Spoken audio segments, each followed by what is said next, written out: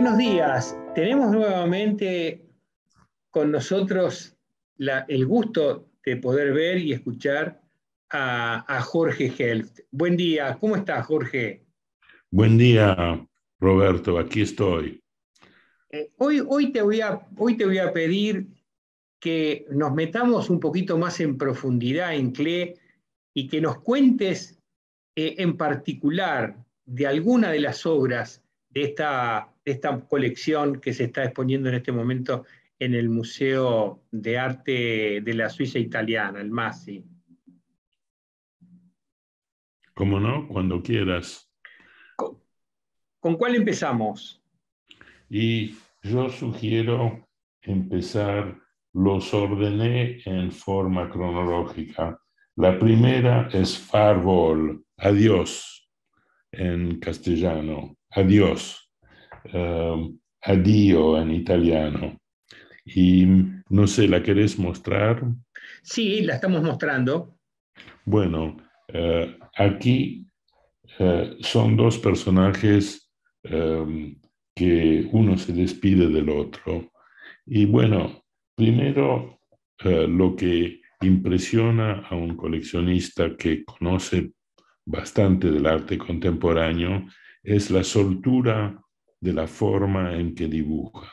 Yo siempre aduje y mantengo que en Klee lo que más importa es el trazo. El color, por supuesto, le agrega valor, valor económico, pero no le agrega artísticamente mucho. Lo que importa, inclusive en las obras de color, inclusive en las acuarelas, inclusive en las pinturas, que hay pocas, es el trazo. El trazo está hecho de todo corazón en una forma completamente suelto. E igual que Picasso, igual que muchos otros, eh, cuando toma una hoja y empieza a dibujar, no sabe para qué lado va a ir. No es que ha decidido pintar una mujer desnuda o pintar un paisaje. Él empieza con trazos y de repente le nace la idea de lo que quiere decir, de cómo lo quiere decir, y sigue dibujando usando lo que ya está trazado y transfigurándolo a lo mejor en una cosa muy diferente a lo que él tenía como intención al principio. Y esto se ve en, muchos, eh, en, muchos, en muchas obras.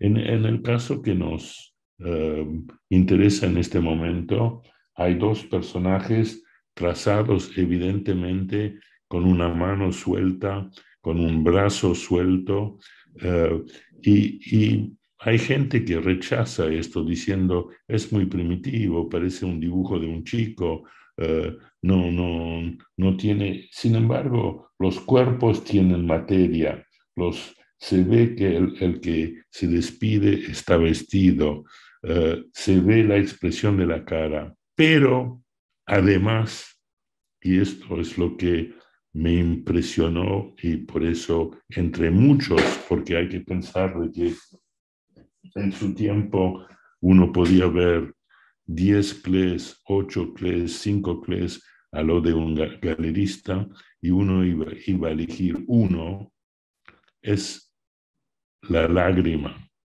La lágrima en el ojo derecho del personaje que se queda. Esto es impresionante. Como también es un trazo, en lugar de un trazo es un punto negro, pero es conmovedor. El que se queda llora. Y ahí está todo dicho.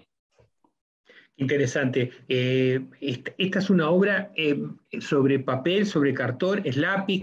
cuál es la, técnica? en, en, casi toda la obra de Klee es obra sobre papel. Lo que varía enormemente es la técnica del, de lo que está sobre el papel. Va desde lápiz común, eh, en algunos casos un poco ya eh, pálidos porque han pasado los años y el grafito pierde, pierde con la luz, pero no obstante tengo eh, obras de lápiz porque son tan conmovedoras que no, no pude resistir de comprarlas. Usa tintas, usa tintas a veces de tres colores en el mismo dibujo, tinta negra, tinta marrón, tinta azul, tinta roja. A veces usa el pincel con pintura y en lugar de pintar sobre eh, un lienzo, pinta sobre papel. Cuando termina una hoja, él procede a pegarla sobre un cartón eh, liviano que sirve de fondo y debajo de las, eh, del dibujo en sí de la hoja que acaba de pintar, traza una raya horizontal y debajo de la, de la línea horizontal pone el, la fecha, el número que todo, todo, todo está numerado y el título que ha convenido muchas veces con su mujer y con su hijo o a veces solo, que es el mensaje que ese dibujo, esa hoja de papel le dice a él, le, le, le, impresiona a él. En este caso, el, el título es Farewell, adiós. ¿En qué idioma es eso? En alemán. En alemán. Eh, él hablaba principalmente alemán, aunque dominaba el francés, el italiano, pero eh, su idioma materno era alemán. El alemán. Eh, Jorge, la otra obra que, que, elegiste se llama Kreis zu lenken, que en inglés es Old Man's to Steer. esta es una obra de 25 centímetros por, 20, por 21, también, ¿no? En, en, lápiz. Contanos de esta, de esta obra. Bueno, Kreis zu lenken, como dijo aquí en, en italiano, le han puesto vecchio da, condus, da condurre. Es el chico, es lo, que quiso decir es que el chico lo maneja a su abuelo como, como él le canta. Y eso es una cosa muy común, muy general en todos los países del mundo. Los nietos eh, pueden pedirle, o sea, manejarle, manejarlo al abuelo como, como ellos quieren. Y Klee se toma el atrevimiento de transformar el abuelo en un coche. Tiene una, un manubrio que el chico en la espalda del, del abuelo está manejando. Lo está manejando, el, el, abuelo en lugar de ojos tiene ruedas y lo va manejando por, por donde quiere. Y eso me pareció también, eh, primero, por supuesto, la estampa, el dibujo me encantó, pero el hecho en sí de que ese chico tiene el poder de manejarlo al abuelo como si fuera un coche, me pareció divino. Es, es muy tierno. Y abajo que dice 1930, la firma, y después la raya 1930, ¿no? Sí, y tiene el número que para eh, el em, catálogo razonado de CLE tiene mucho sentido, creo que tiene A5. O sea que es el número del inventario en su cuaderno del año 30, eh, donde está la fecha exacta en que terminó la hoja y la firmó. Eh, también la hoja en sí está firmada, la hoja principal está firmada abajo a la izquierda. Claro. Eh, la, otra obra que habías elegido es una de 1938, ya estaba bastante enfermo, ¿no? Que se llama Duelo. Ahí cómo cambia el trazo. Sí, es, eh, había una, si no te molesta, que es anterior a esto. A ver. La, incluyo. Ah, sí, perdón, Gran Sames Erlebnis, correcto, perdón. Eh, esto quiere decir una experiencia cruel, eh, cruel, pero también la palabra mejor para mí en castellano es tétrica. es una experiencia tétrica. Lo que estamos presenciando es una violación. Eh, está primero eh, la línea principal, el trazo principal, y aquí otra vez insisto sobre la importancia fundamental del trazo, es de una sola línea. Es una línea continua que abarca ambos eh, personajes. Eh, la línea en color azul es prácticamente una sola. Eso es un motivo de, absoluta dominación del oficio de dibujante. el personaje masculino está a la derecha, está ha violado al personaje a la izquierda que es femenino. Y hay sangre, eh, las manitos de la mujer están colgadas como eh, sin, sin propósito, entregada, eh, debilitada y de color sangre. Y finalmente hay un aspecto constructivo en esta obra que me pareció también tan importante como la lágrima en el primero o el manubrio en el segundo. Y es que ella está colgada en el aire, eso se ve, él la está levantando, pero está en el aire. Y sin embargo, los piecitos están en el mismo plano de abajo como los de él. Eh, parece curioso de que los dos están en el mismo nivel y sin embargo ella visiblemente tiene las piernas colgadas, que están levantadas y está en el aire. Y esto es un, detalle eh, muy secundario, pero que lo hace único. Eh, Por favor, ¿me, repetís un poquito el, título y su, traducción? ¿Cómo lo traducen en italiano, en, en inglés?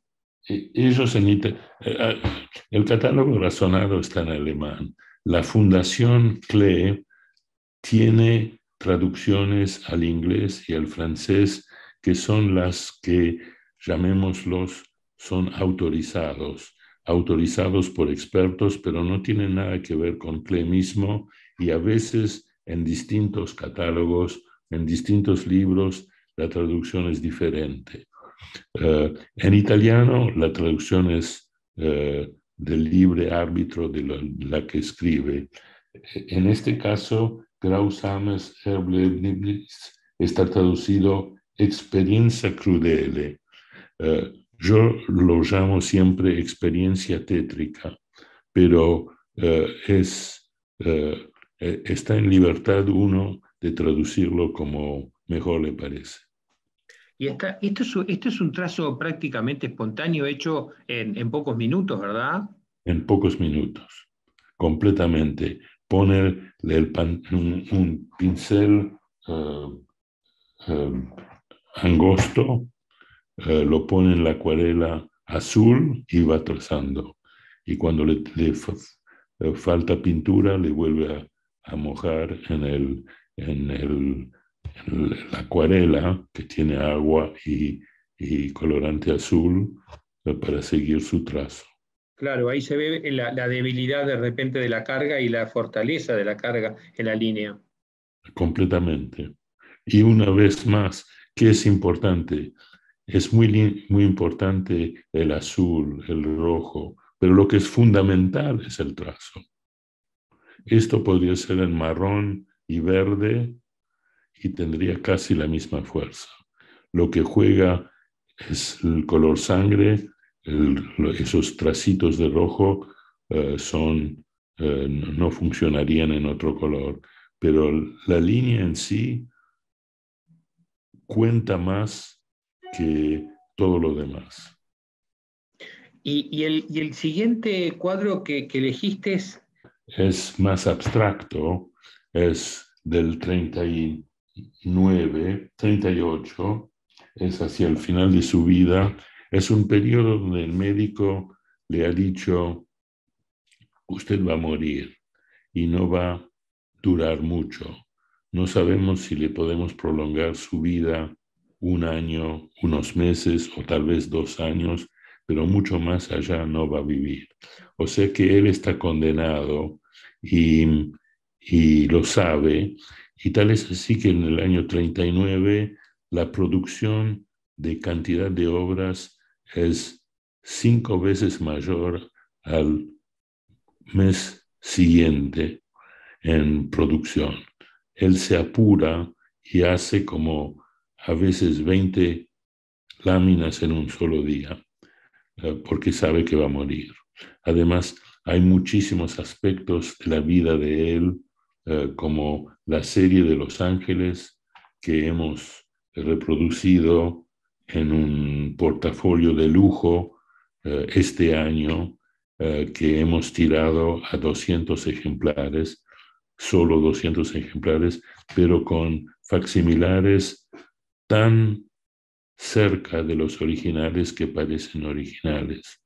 Por supuesto, no, no se van a vender como originales, pero eh, nos dimos el gusto de que Los Ángeles nunca los vendió porque era sobre el final de su vida y él en su vida casi nunca vendía los dibujos sobre papel. Él escribió, yo los, los eh, dibujos sobre papel los hago para mí, no los hago para vender. A veces regalo uno a un amigo muy cercano y espero que lo tome como un homenaje especial porque es así. Eh, en este caso, el duelo es entre dos personas, es muy abstracto, eh, se ve, se puede imaginar el, un, no sé cómo se llama, ¿no? un sable, un, eh, el, ¿cómo se llama? De, los duelos. un estilete. ¿Un cuál? un, estilete. un estilete, sí, como... Eh, me parece que es estilete el nombre, sí. Sí, bueno, y, y, bueno, el de la derecha está vencido, eh, está por caer, eh, todo esto con lo más sencillo. Eh, aquí no hay mucho que decir. La estampa está tan condensada, tan clarísimamente orientada hacia lo que quiere decir, de que no merece ningún comentario. Estamos de nuevo ante un trazo de acuarela donde se ve la carga de agua, ¿verdad? Sí, es acuarela negra, apenas tiene puntitos abajo y, también está hecho a mano levantada, tac, tac, tac, tac, y ahí está, el cuadro ya está terminado. Y, bueno, eso es el motivo por el cual lo compré. Eh, lo tenía un amigo mío, galerista en Nueva York, y lo primero que hizo cuando lo compró y lo puso en venta era llamarme diciendo, este sé que es para vos. Y, es así que, acumulé la, la, colección. Y en final, el último que elegí para hablar con ustedes es Interbrochene Metamorfosis. Eh, metamorfosis interrumpida. Y, es un cuerpo, el cuerpo de él, desmembrado. Y yo investigué el caso con el experto de CLE eh, en, eh, esos momentos, estoy hablando de hace 30 años atrás, en la fundación en Berna.